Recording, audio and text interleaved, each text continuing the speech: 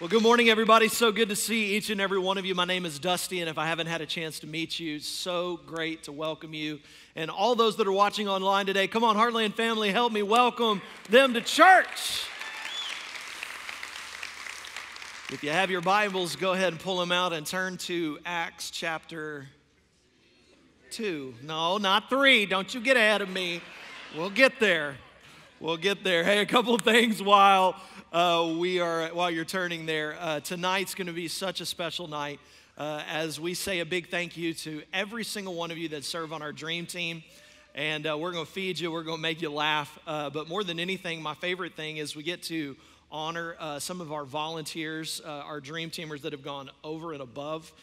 just to say thank you. It's going to be a great night. And getting all of our family in one little little area and hanging out. It's going to be great. If you haven't registered, uh, make sure to do it for us. Uh, there's close to 300 of you so far that are already uh, going to be a part, so we're excited about that and uh, cannot wait. Uh, 6 p.m. tonight, and, uh, and the, the theme is television shows, so it's going to be great. And then this coming Wednesday night, we continue right along with our prayer, the prayer meeting. Uh, close to 150 of you came to pray this past week, and uh, I'm so grateful for the spirit that I feel in this room. It's really setting the stage for everything that's happening uh, on Sundays and throughout the week. So thank you. The prayer service is such a big deal. I'll talk about that more. And then uh, next weekend's really exciting. Uh, I have to tell you personally, it would be it would mean a great deal to me if you're in the room. Uh, next Sunday, and you're gonna wanna be in the room uh, because Pastor Kevin Gerald, uh, one of the, I, I, really consider him to be one of the greatest communicators uh, on planet Earth. Uh, this is his first time to speak here, but hopefully will not be his last because uh, the week of March 3rd, we're going to be hosting Team Church, uh, which is a network of churches that we're a part of. we're hosting a regional event, and so that whole week is kind of a special week for us as a church, with Pastor Kevin speaking that day, and then on March 6th, that's a Wednesday night, we're doing what we call Big Wednesday. Everybody say big. big. Come on, it's going to be big. And so uh, Jonathan Moore is going to be in the room speaking that night. Uh, think like Seek Week. Uh, that's the kind of environment we're really going for uh, on this night. We're going to have food trucks outside. Like it's going to be a great night. I'm asking you to come for Big Wednesday, which is First Wednesday, but it's bigger than a regular First Wednesday. Uh, so we have prayer meeting, we have First Wednesday, we have Big Wednesday. We're just, we got all the Wednesdays around here, okay? And then uh, the next day on that Thursday, uh, we're hosting a Team Church Road event. We have over uh, 200 pastors that are going to be in this room the entire day on Thursday. We're going to get the opportunity to serve them pour into them. Uh, Pastor Kevin's staying over. He's going to be speaking to those pastors that week. And so, listen to me. If you can give us that day, uh, we need about 20 or 30 of you left. Uh, that's and, and we're going to be good. But if you can give us the day, to help us love on pastors, spend time with pastors, serve here in this building. Here's a QR code, or just to make it really easy, go out to the lobby today and sign up out there. They'll help you figure out where and what it's going to look like. We'll train you, make sure you know what's going on uh, for the day. But it's going to be a, a, really, really great week. And uh, I hope that you join us uh, for it. Cody mentioned the power I need. That's the series we're in right now. This is week chap, or this is week number six uh, finishing up chapter two today. And uh, for those of you who are new to our church, I felt like God spoke to me in July of last year and told me uh, that this was going to be a year of power in our church. And as I really pressed into the voice of the Holy Spirit, I felt like He asked me to basically teach you the whole book of Acts uh, for the entire year this year, uh, which is kind of insane. I've never done anything like that, but for 10 months, we're spending uh, um, the whole year uh, in the book of Acts. Now, let me tell you, we're going to take a little break We've done six weeks. We're going to kind of like collect our breath in the month of March. Uh, I'm going to take a couple of weeks and get ready for, for uh, Palm Sunday and Easter. And so we have some different voices that are going to be speaking into our church. Uh, and I think it's going to be great. You're going to love it um, especially with Pastor Kevin next weekend, and then some other voices. So we'll take a little break from the book of Acts, but then right after Easter, we'll dive back in, okay? And we'll just keep going for a few months, for several months. So I uh, hope you're ready for that. Uh, today, we're going to spend some time studying one of my favorite sections of the book of Acts, the, the last few verses of Acts chapter 2. And for those of you who are new in Acts chapter 2, we've looked at how the Holy Spirit was poured out for the very first time there has been this incredible move of God, power of God. People are getting saved.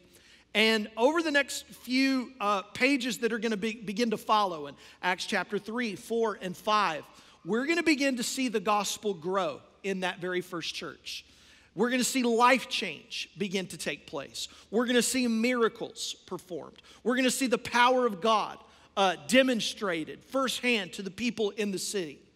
And the question is, is what happened? What did the apostles do that began to make it possible for God to do what he wanted to do? In other words, what kind of environment did these people create? Some people say, well, if God wants to do something, he'll just do it. But I'm here to tell you today that's not always the case. Like God's will is not automatically done. The Bible says that God is willing that none should perish, and yet some will perish. So God's will is not automatic. You and I have a responsibility to partner with God to be a part of that. Paul says in Philippians, it is God uh, who is now at work in you. Now work out your salvation with fear and, and with tremble, and trembling. So if God is at work, then we have to be active in our participation, in the work in us, in, in the place that we're a part of. And so the end of Acts chapter 2 shows us how all of these early church Christians began to formulate this church, and they had a, a deep responsibility that they felt to begin to lay the foundation for God to work. And, and I just, I want to say this from, from the outset today. Like, like I feel like these mandates are all, should be cultural for us. I feel like, like I'm, I'm, I'm preaching to all my church people right now. Like, this is some stuff we got to get in our hearts if we want to see a move of God happen in our church. Amen, everybody? And, and not just in our church, but, but outside the walls of our church. But as I said this past Wednesday night at our prayer meeting, it's got to happen in us before it can happen through us. And, and so this has got to be a mandate that we feel. So let me give you today four responsibilities that we've got to embrace if we want to join God in building his great church. Amen, everybody? So this one, if you're taking notes, it's a you're gonna like it. It's real easy to take notes with four points. It's going to be a good one. All right, here we go. The, the four responsibilities in building God's great church. The first is vibrant worship. Now, let me, let me share something about this with you, okay? We often think of worship as people singing. We often think about worship as what happens when, when the music starts to play. And that is a part of worship. And I do believe there is a supernatural effect to our singing, like like, please don't mistake this. As we begin to sing, I believe heaven is engaging with you in this place. That, that as we're worshiping, there are battles that are being fought, battles that are being won solely because of our worship. Things are being changed in the atmosphere. But worship is, is not just what we do when we sing, it's not what we do when we're in this room. Worship is how you live your life. Look at what Paul said in, in Romans chapter 12. He says, I plead with you to give your bodies to God because of all he's done for you. Let them be a living and holy sacrifice, the kind will be acceptable. And then notice this next part, the bolded part says, This is truly the way to worship him. When you submit your life to Jesus, the, the logical response, the only right response is to live a life that glorifies God. That's worship, everybody. Worship is what happens in your life, it's what happens in your heart, it's what happens in your mind, it's what happens in your deeds, and it's what happens in this place. Acts chapter 2, verse 42, I'm going to read this and then we're going to talk about it. It says, All of the believers devoted themselves to the apostles' teaching and to the fellowship and to the sharing in meals, including the Lord's Supper, and to prayer. Now, right off the bat this morning, as we're looking at the scripture, I want you to see that it's all the believers. Come on, everybody say that with me. All the believers. It's everybody. And this is so important for us to note and to see. It wasn't just Peter, it wasn't just John, it wasn't the apostles doing this, it wasn't the pastoral staff doing this. This was everybody, all the believers. Let's just say this right off the bat. A move of God is not just the responsibility of leadership.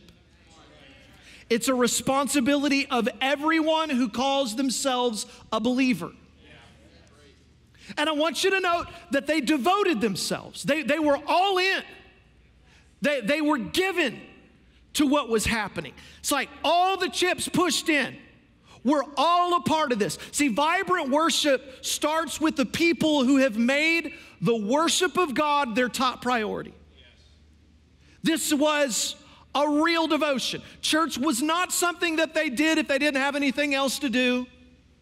Church wasn't something they did if they didn't have kids' games or if they felt if they felt like going if they woke up and it was a nice 80 degrees at the end of February. Come on somebody. it, it was the top priority. It wasn't just another priority. It was the top priority.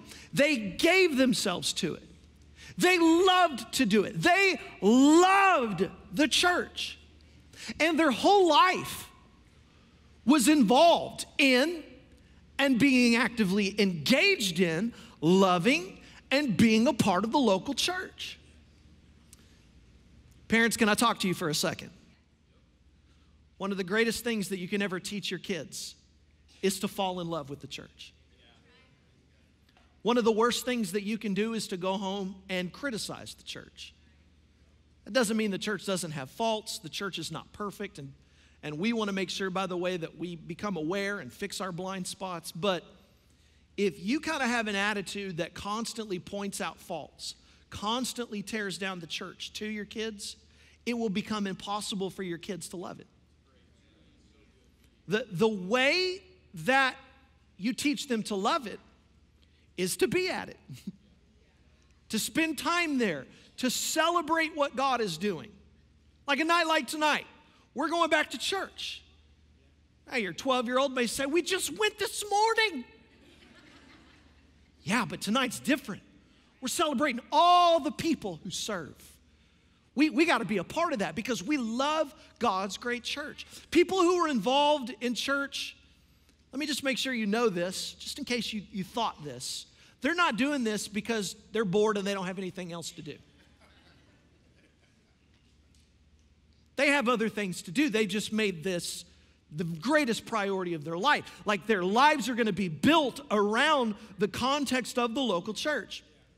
I was uh, at an event a couple of weeks ago in Florida uh, listening to John Maxwell, and I was talking with a couple of business leaders there and they were asking me about, about our church, and I, I, was telling them about the church. I told them how we were three generations of pastors, which is always a really big talking point. It's very, very rare for something like that uh, to exist. And so one of the guys we were talking, he said, So is it your desire that your girls would one day lead the church?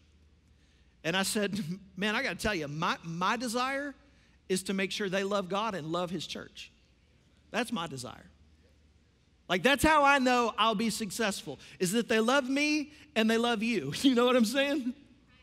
Because if they love God and if they love the church, then everything else will work out. But those are things that are most important. Teach your kids to love the church. Teach them to be passionate about the church, to be all in with the church. And, and by the way, you can't create in them what's not in you. I was a youth pastor for almost 13 years. You can't drop them off and tell them that you're passionate about it while you never go to it. You can't tell them it's important while demonstrating that it's not important for you. It'll never work. I, am just encouraging you to, to teach them to love the church, to love the Lord, to love His people, to celebrate what God is doing. Now, I want to go back to this verse for just a second because inside of this verse, I want you to notice that as they engaged in vibrant worship, the text shows us that they were devoted to three things within that. So this is kind of a subpoint of, of this first one that, that they were devoted to what? Three areas of devotion. They were devoted to learning, they were devoted to the apostles' teaching, they were hungry to learn. By the way, you think I give you these message notes every week for you to fill in the blank just because I don't have anything to do? Trust me, they take time, you know, that it takes resources to make it happen. I want you to be hungry, to engage, to write things down, to learn. They, they wanted the information and they wanted the application. Why? Because you cannot grow beyond what you know. I mean, sure, experiences develop you, experiences help you, but if you don't have your life anchored in God's Word, your experiences can take you outside of God's Word. So you've got to know God's Word. You, you do not need to be entertained at church. You don't need to come to church and be entertained.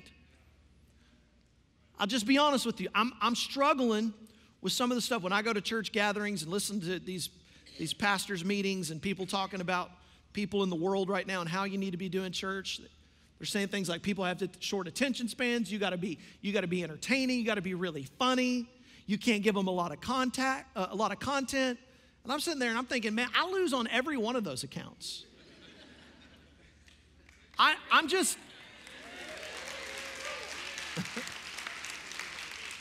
I am dug my heels in like, I don't care what y'all say. I don't need to entertain you. It's not my job to entertain you. You need God's word. That's what you need. You need God's word.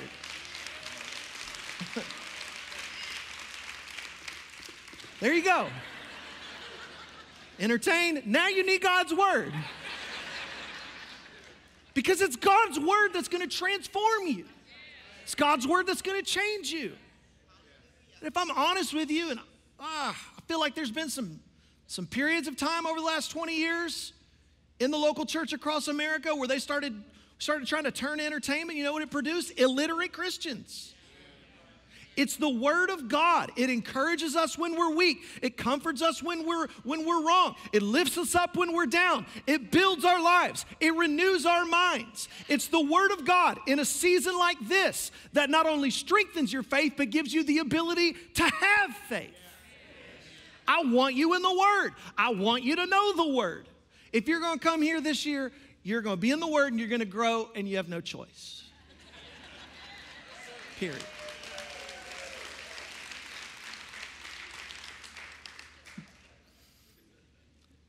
I'm being silly, but I'm not being silly. I mean, I'm really serious. I, have I've never really taught the Bible like I'm teaching it this year. And, and I probably won't do it this way, the, the way I'm doing it right now forever, but I just feel like a push from the Holy Spirit about this. So they were devoted to learning. Number two, they were devoted to interacting with other believers. Let me re- read this to you. It says, All the believers devoted themselves to the apostles' teaching and to fellowship and to sharing in meals. Everybody say food. Your spiritual growth is not a do it yourself project. Let me tell you part of the problem right now with the American church. It's that we have embraced the independence of our American culture in our spirituality. And this is to our detriment. God never designed you to walk with Him by yourself without anyone around you. There are some things that God wants to do, but it's only going to happen with other believers a part of your life. Uh, church isn't primarily a personal experience where you get what you need and then you go out and, and live by yourself. It's community, it's people gathering together, it's, it's people doing life together. I mean, let me give you an example. Notice the prayer that, that the disciples say, Jesus, teach us how to pray. And he says, I'll give you an example, and he gives them the Lord's Prayer. Think about the Lord's Prayer. You may never have thought about this before. Our Father. It's not my Father, He's ours. It's a recognition of community. Give us this day, give us this day our daily bread. It's not my daily bread. It's not just about me and about mine, it's about us and it's about ours. Forgive Forgive us of our trespasses as we forgive those who trespass against us. Like as we're praying, we're praying for the needs of other people around us. Church is talking to others. Church is encouraging others. Church is praying for others. Church is building relationship with others and it's living with others. Bless you. Some say, well, Pastor Dusty, it's It's just you don't understand. It's too big to meet people. Well, in any church that you attend, no matter the size, on average, the t- statistics say that you're going to know about 65 to 70 people. That's kind of your range. And it's funny whether a church is big or a church is small. People act like, well, because I can't know everybody, I can't know anybody. Well, that's just not true. You, you got to push past that mentality. Another thing I hear is, well, I have a lot of friends, but they're, they're outside of the church. And I got friends. Pastor Justin, I don't want you to think, you know, I, I got friends. But I'm just too busy relationally for it. Well, now you've missed the whole point. You've missed the whole point of why you are to be a part of the fellowship of believers. I'm going to read you a verse. It's 1 Corinthians 12. It says, All of you together are Christ's body, and each of you, each of you, each of you are a part of it. We're Christ's body. If a part of the body says, you know, I don't need to be a part of the body, what would we say that is if you're missing a part of your body? If the hand said, well, you know, I, I don't need the rest of you, you know, you know what we would call that? We would call that a disability. If the wrong part of you says, I'm done, then we call that death. I mean, if the heart says, I'm done, you know, I do all the work around here, I do more than all of you, and the hair just sits there. and I'm sick of it. It's like I'm pumping a bazillion times a day, never any thought about me. And suddenly a few of those go missing and all hell breaks loose.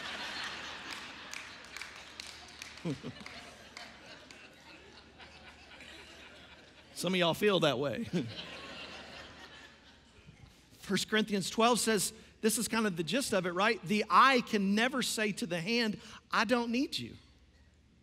The head can't say to the feet, I don't need you. Listen, Every believer needs to be in a church. And you can't say, I don't need other people. Well, here's an idea. What if they need you? Listen to me. Listen to me. I'm a part of the body. I need you. I need you. This is why serving on a team is so important because if you do it, you start ministering to other people. It's why we have groups so that you can be a part of a community of people that pray for you and you pray for them. And the surest way to damage what God is doing is to become isolated and independent from another. We got we to work together. By the way, I say this as a pastor who loves you. If you've bought into the lie that, that you can just, if you've bought into Christianity alone, you've bought into a lie from the enemy. It's his lie that says, I don't need anybody, I'm good. Because when you're alone, that's when you become the most vulnerable. Here's the third thing that they were devoted to they were devoted to prioritized prayer. Let me show it to you in Scripture. All the believers devoted themselves to the apostles' teaching, fellowship, sharing the meals, including the Lord's Supper, and to prayer. They were devoted to prayer. I'm just, I can't stop talking. I'm to talk about prayer so much this year, you're to be able to quote me before I say it. I believe that we're to see exponentially more this year as we pray. More salvations, more testimonies. Why? Because as we pray, God works. And all the believers were devoting themselves, not, not just a personal prayer, but to corporate prayer. It was assumed that they would have had their own individual time with God. As, as they devoted themselves, they devoted themselves to seasons of corporate prayer together. You know, when we pray, there is, there is this building, this accumulating weight of prayer. It builds and it builds, and God's, God does more and more, and that's what we'll see. That's why I, I say if you haven't been to the prayer meeting, you need to come to the prayer meeting and pray with us. By the way, you know what I love Last week we saw 3,000 people come to the faith in one day in Acts chapter 2. They didn't pray for 10 days, 3,000 people come to the faith and then stop. You know, like they could have been like, look at what we just did. But they believed God for more, hungry for more. I love that. We want to see what God does next. So let's keep praying. Is this good? Is this helping somebody today all over the room? Okay. Let, let me give you another uh, responsibility. another responsibility uh, in prayer. It's this one uh, is signs and wonders. Signs and wonders. Let me read this scripture to you. This is Acts 2. It says, A deep sense of awe came over them all. And the apostles performed many miraculous signs and wonders. I want to say a few things about this. First of all, everyone, not just pastors and leaders, not just staff, everyone in this church is in awe of what God is doing. Everyone. I, I want to suggest to you that without the awe here, we won't get the signs and wonders.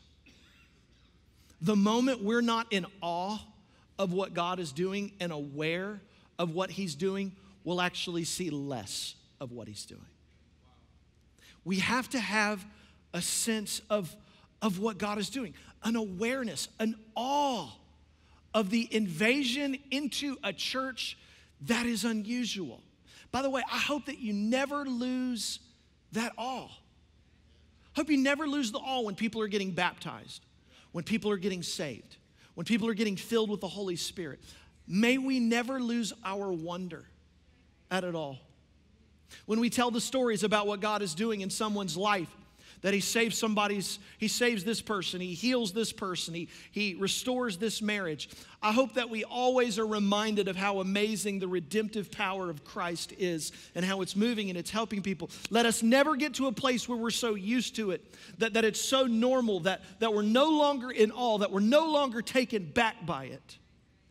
They were in awe of the signs and the wonders that were being done. And we don't know necessarily what the miracles, the signs, and wonders were, but we will hear more about those in the future in the book of Acts. And I want to take a second.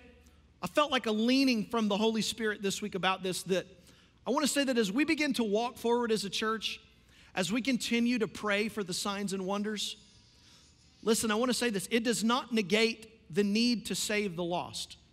In fact, that's why signs and wonders exist in the first place. But, but, but as we pray for revival, I, I want to say this, and I've said this over the last couple of weeks. I want to see the supernatural take place in our church. And I believe that we have a responsibility. We have a responsibility to, to, to prayer for signs and wonders to take place in our church. And here's the thing I want you to know I'm not afraid of it starting small because that's what it does. It always starts small. That, that's, that's fine with me because everything in the kingdom of God starts like a seed. So, right now, we're in the infancy of what, what God is really going to do. We're in the beginning. I mean, we're two months in uh, uh, of this, this part of, it's the part of Jesus' ministry that God is developing in us. And, and I want to say that we have to be careful as we pray for it. We have to be careful to, to, we have to pray to nurture it and never to become a naysayer about it. We have to celebrate it rather than evaluating it. I mean, think about this. If you plant a seed in the ground, you don't walk out a month later and expect there to be a tree there. That would be crazy. Well, in our church right now, we're planting seeds of faith that I believe are going to produce a harvest of breakthrough in people's lives. Breakthrough is, but breakthrough is growing right now. Fruit is, is growing right now. I want to tell you just, I mean, a, a, miracle that God is doing that you probably don't even know about. Last year, so some of you, were you at Seek Week last year on, I think it was the Tuesday night, I can't remember, Tuesday or Wednesday, we were praying for supernatural. We were praying for miracles, we we're praying for healings. And one of the things that I felt such a push from the Holy Spirit on was I said, if you if, if you're trying to have children right now, or you've been having trouble having children right now, I want you to come. And all over the front of this building were men and women standing together believing God for children. I want you to know that God's been answering prayers one by one, by one, by one. In fact, there are 12 core couples in our church right now that are pregnant right now in our church, many that were down here along the altar. And I did not even I did not even realize it. Because you hear, you know, that so and so's pregnant, they're pregnant. I'm thinking, that's great, that's great. Then I get a text message from one of people in our church. Did you know that 12 couples since we prayed I started adding it up. I'm like, well, they, you know, they, my, we're gonna need some, we're gonna need some nursery workers.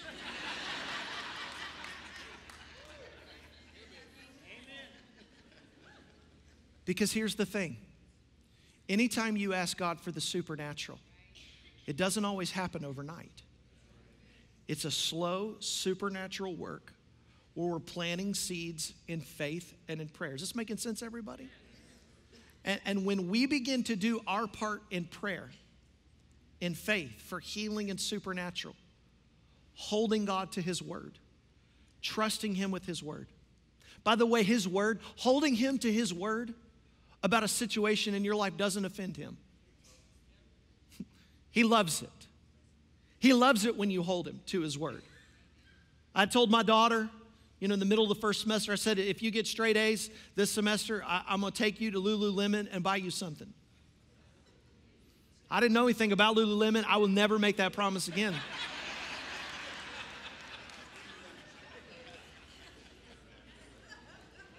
but it's over Christmas break. She just had she just had Christmas. And we're driving the car and she says, "Dad, do you remember you told me that if I got straight A's, I would get some at Lululemon?" I was like, "Yeah." She was like, "Well, bam." You know, as a father, what I didn't do? I didn't say, You little pipsqueak, what's wrong with you holding me to my word? No, no, no. I said, Girl, we're going to go to Lululemon and I'm going to get a second job.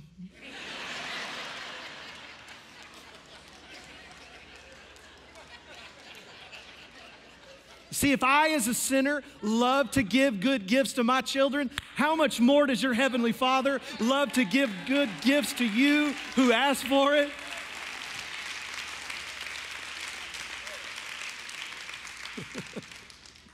so we're planting the seeds in the ground.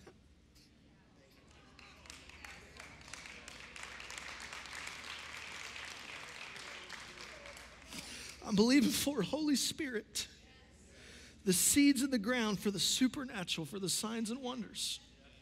And we're already seeing signs of it. 74 people two weeks ago said yes throughout the week to Jesus.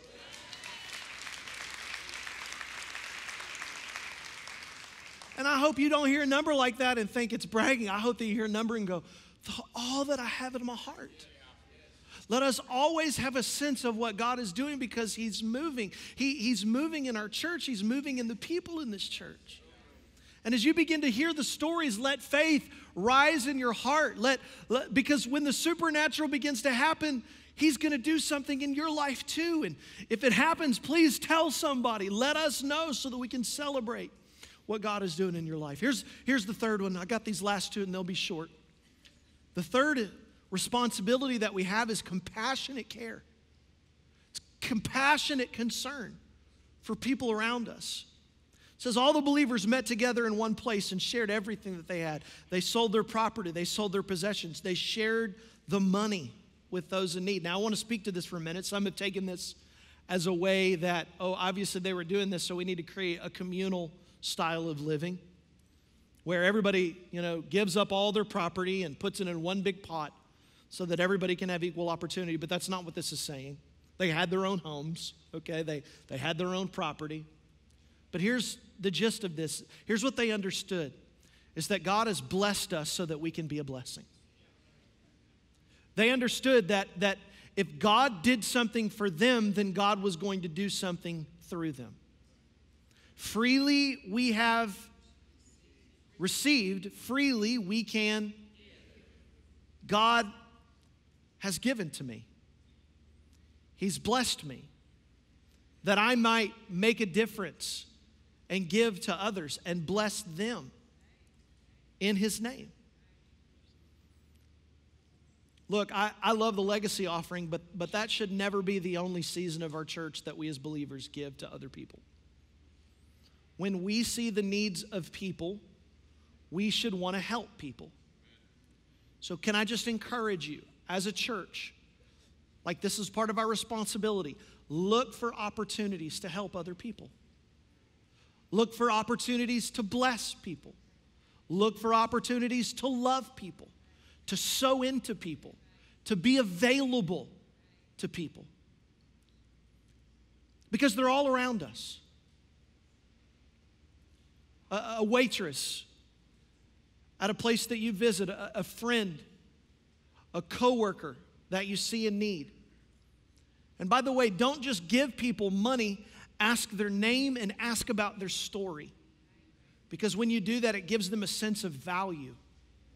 It lets them know that they matter to you and that they matter to God. We don't just meet earthly needs without caring about people's spiritual needs. It's absolutely their greatest need. So we pray for them. All of us need to be looking for opportunities to help people. Why? Because there's a whole lot of people that are in need of help. And by the way, let me just say this as our church grows and as our church becomes known for meeting needs in our city and in our community, we are going to have people that walk through the doors of this church that don't look like you. Be okay with that.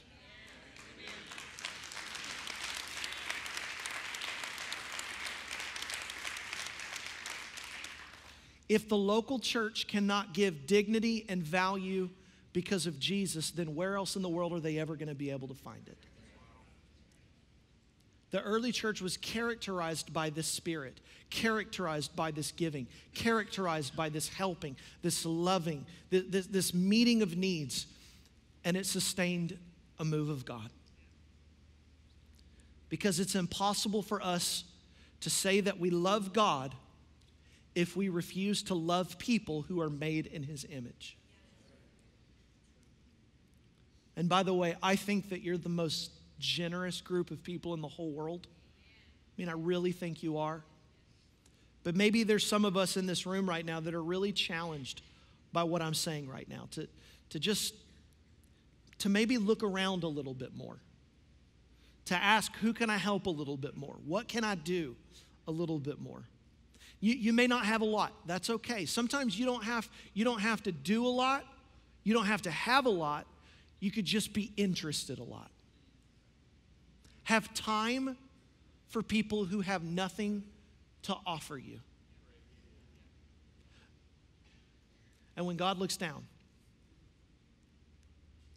he who is kind to the poor lends to the Lord, and the Lord will repay him.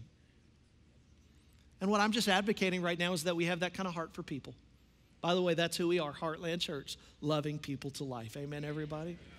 Here's the last one. Team, I want you to come. I'm, I'm wrapping up with this. The last one is aggressive evangelism. Let me read this last part. Every day they continued to meet together in the temple courts. They broke bread in their homes. They ate together with glad and sincere hearts, praising God, enjoying the favor of all the people. And I want you to notice this and the Lord added to their number daily those who are being saved. I love God's word. Can I say something to each one of you? I, I thank God that you're all here today. But I really pray that there's more of us next week. I thank God for every person who's given their life to Jesus this month. It's been an incredible month. And if you haven't, I hope that today is your day. But I really hope that next month there's more. I believe when Christians live in this kind of way, that's described here at the very end of Acts chapter 2, I actually think it's the most contagious type of living that you can find and it becomes the harvest field for a, a perfect move of God. When things get hard in the world, like they are right now in the world, Christians shouldn't be like, oh, here it comes. Christians be like, Hercules, Hercules. A couple y'all got that. When things get hard in the world, Christians should get excited. Why? Because it's the perfect time. Right now is the perfect time. Because people need Jesus. At the restaurant, just care. just invite them to church. Really serious question, really serious. Thought provoking, hope it brings a little bit of conviction. When was the last time you invited a total stranger to church? When was the last time you invited a friend?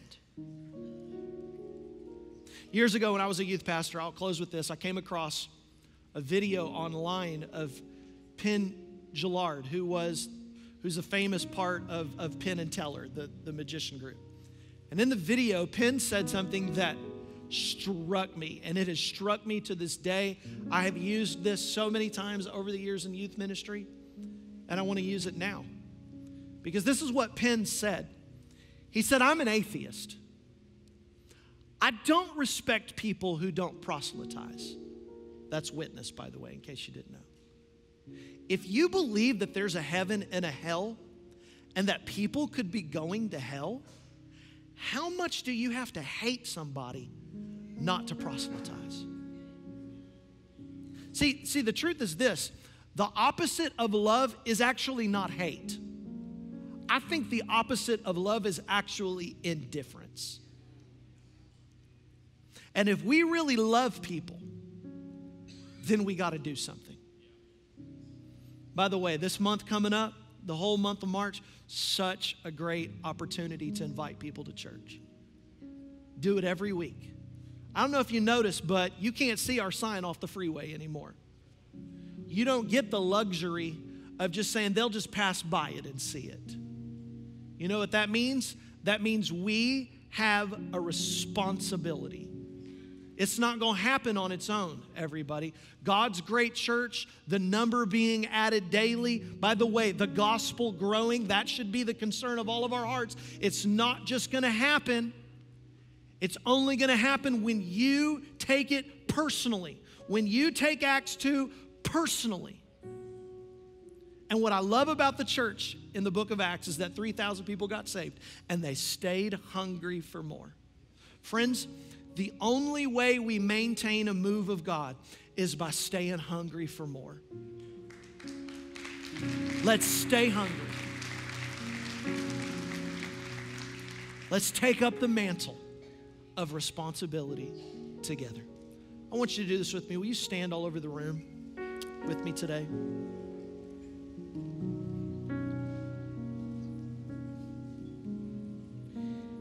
Today, I've given our church four responsibilities that we as the local church have to strongly, strongly, strongly take into consideration. And I think the prayer begins when we ask God to get this in our heart. Light our hearts on fire for this. Make us so passionate about this, not just to your friends but the people around us. Compassionate care, vibrant worship, aggressive evangelism, living in community, making a difference with a group of people that are making a difference. God, let that get in my heart. I want you just to lift your hands just like this all over the room today. Father, I want you to know that Heartland Church is not going to be a church that has church on Sunday mornings and leaves out here and doesn't get the mandate. We are going to get the mandate. We are going to take it seriously.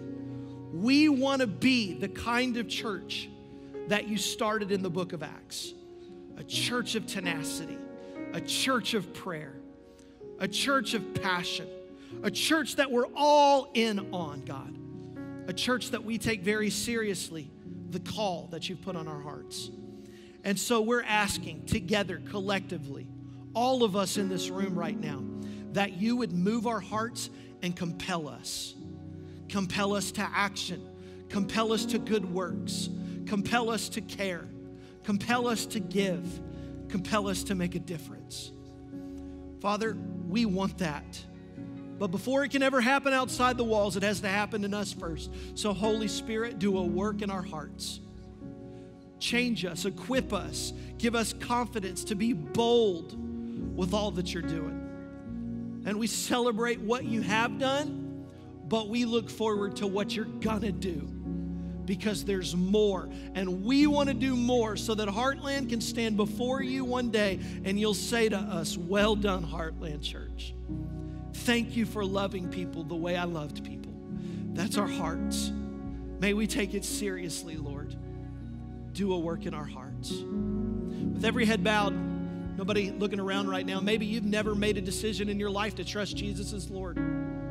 I don't know who you are today. I know some of you are going through a valley in your life. And you know right now that, like, things are hard. I'm, I'm struggling. My family's struggling. We need Jesus right now. First of all, I want you to know I'm praying for you. I'm trusting God for you. I speak life over you today in Jesus' name. I pray that His voice whispers strength to you, whoever you are.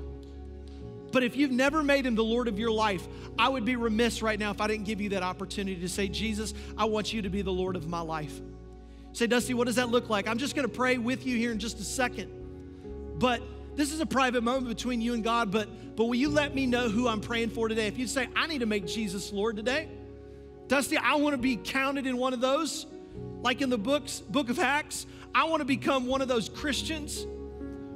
There's nobody looking around right now. If that's you, you'd say, I need to make Jesus the Lord of my life. I've never done that before. Then on the count of three, put your hand high so that I know who I'm praying for today. If that's you, on the count of three, do not hesitate today. One, two, three. Come on, raise it high. Say, I need to make Jesus Lord today.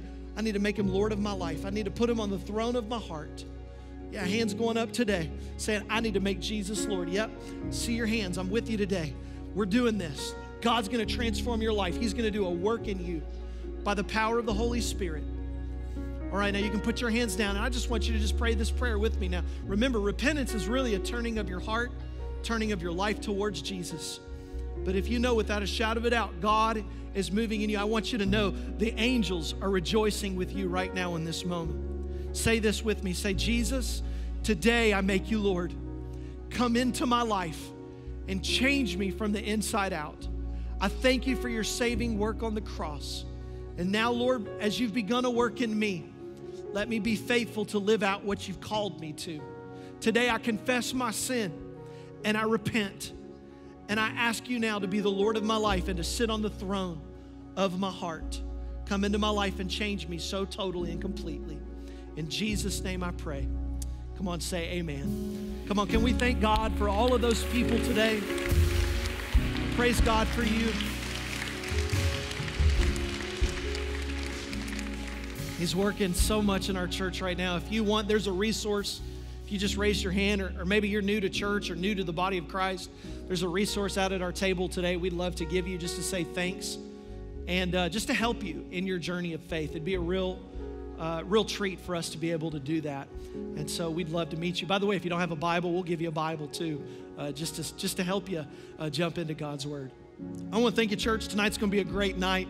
Uh, and uh, as we kind of get ready for the Easter season and for all that God is doing, I just want to take a second and say a big thank you to all of our building and facilities team. Uh, over the past three weeks, we've had a major amount of projects going on. Come on, can you just thank them? Like, I tell you, it's a very thankless job. Uh, but you walked onto a property today where the, you had toilet paper and the AC was running, you know, and like you had a parking place and you didn't, it, it just, this place looks great. And I want to say thank you to every person who serves on that team for making a difference. By the way, I want you to know that money that's used on this stuff, we've been saving that for several years now. None of that came out of the legacy offering. So just like let that appease, like be a blessing in your mind. We're using that to make a difference in the lives of others, everybody. So if you wondered, don't wonder anymore. Uh, God's doing a great work. If you want to give today, they're going to put up different ways to give uh, on the screen behind me. I want to thank you for being the most generous church and for supporting this church. If you're a guest with us today, don't worry about this. Let, let this service be our gift to you. There are boxes in the hallways if you want to give that way. We don't, we don't pass buckets around here. It's a real thrill. We'll see you tonight at Dream Team Party for a great night, celebrating all of our guests. Be with every person, God. Bless their family, bless their jobs. Lord, be with them. Let them get into God's word and pray and we'll see them next week. Keep them safe in Jesus' name. God bless you guys today. Come on, team, let's sing them out. You're dismissed. It's just something, something